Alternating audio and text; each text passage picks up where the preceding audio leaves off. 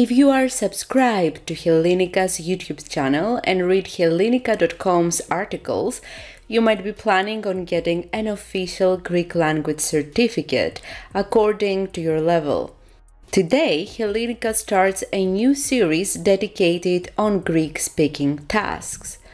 After a few personal questions, candidates are usually asked to describe some images in Greek.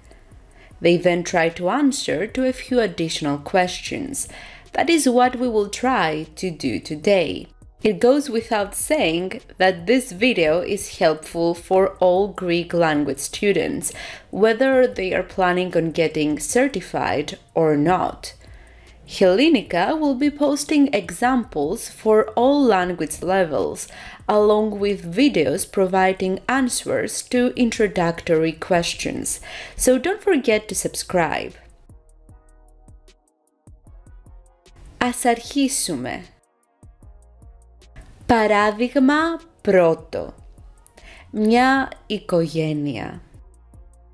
Τι βλέπετε στη φωτογραφία στην πρώτη φωτογραφία βλέπω τέσσερα άτομα. Έναν άνδρα, μια γυναίκα, ένα αγόρι και ένα κορίτσι. Ποια η σχέση των τεσσάρων προσώπων; Είναι μία οικογένεια. Ο μπαμπάς, η μαμά και τα δύο παιδιά τους. Πού βρίσκεται η οικογένεια; Υποθέτω πως βρίσκονται στο σπίτι τους. Κάθονται αγκαλιασμένοι στον καναπέ του σαλονιού τους.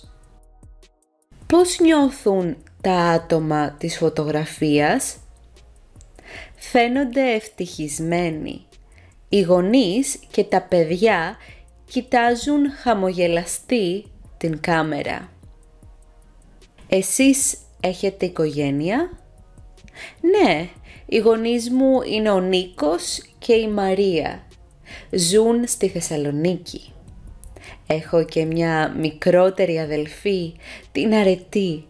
Η Αρετή σπουδάζει ιατρική στην Αθήνα. Δεν είμαι παντρεμένη ούτε έχω δικά μου παιδιά. Παράδειγμα δεύτερο. Το αγαπημένο μου χόμπι. Τι βλέπετε στη φωτογραφία; Σε αυτή τη φωτογραφία βλέπω μια νέα γυναίκα να ζωγραφίζει πάνω σε καμβά μπορείτε να περιγράψετε τη γυναίκα της φωτογραφίας. Η γυναίκα της φωτογραφίας έχει μακριά καστανά μαλλιά και φοράει ένα μπλε φόρεμα. Έχει κανονικό σωματότυπο. Δεν μπορούμε να δούμε το πρόσωπό της. Μπορείτε να περιγράψετε τι ζωγραφίζει. Η γυναίκα ζωγραφίζει ένα φυτό. Το φυτό είναι σε μια πύληνη γλάστρα και έχει βγάλει λευκά λουλούδια.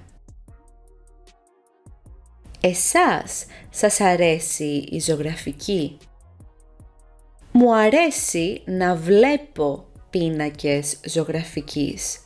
Όμως εγώ δεν ζωγραφίζω. Δεν έχω ταλέντο στη ζωγραφική. Ποιο είναι το αγαπημένο σας χόμπι; Είμαι αθλητικός τύπος. Προτιμώ την ορειβασία. Ποιο είναι το υψηλότερο βουνό που έχετε κατακτήσει; Έχω ανέβει στην υψηλότερη κορυφή του Ολύμπου, δηλαδή στον Μύτικα. Παράδειγμα τρίτο. Στην αγορά. Μπορείτε να περιγράψετε την εικόνα που έχετε μπροστά σας. Σε αυτή την εικόνα βλέπω μια γυναίκα να διαλέγει λεμόνια σε έναν πάγκο. Πού βρίσκεται ο πάγκος; Ο πάγκος βρίσκεται σε εξωτερικό χώρο. Επομένως η γυναίκα ψωνίζει σε μία λαϊκή αγορά.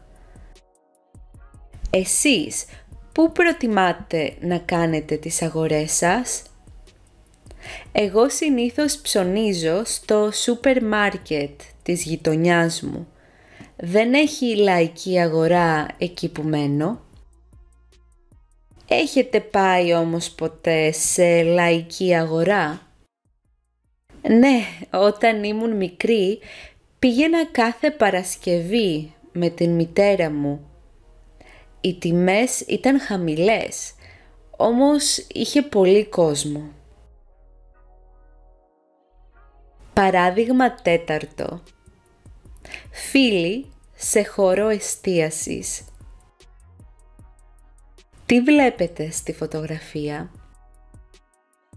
Βλέπω μια παρέα φίλων να βγάζουν μια φωτογραφία όλοι μαζί.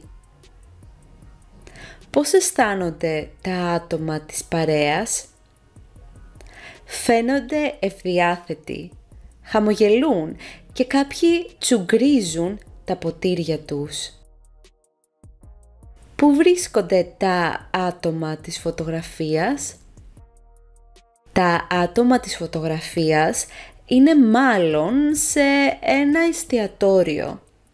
Κάθονται σε ένα μεγάλο τραπέζι όπου τρώνε και πίνουν. Μπορείτε να περιγράψετε τι τρώνε και πίνουν τα άτομα της φωτογραφίας.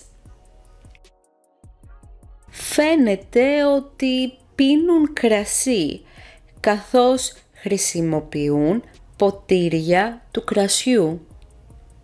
Βλέπω μια μεγάλη σαλάτα στη μέση.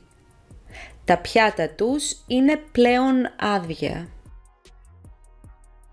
Εσείς επισκέπτεστε συχνά χώρους εστίασης; Εγώ προτιμώ να μαγειρεύω στο σπίτι. Μου αρέσει να βγαίνω έξω για φαγητό μία με δύο φορές το μήνα με τους φίλους μου. Okay, these were some examples of photos you may be presented with during an oral examination. It goes without saying that you can watch this video as many times as you need. This is actually suggested. For more videos like this, like and subscribe to stay updated. More videos are coming very soon.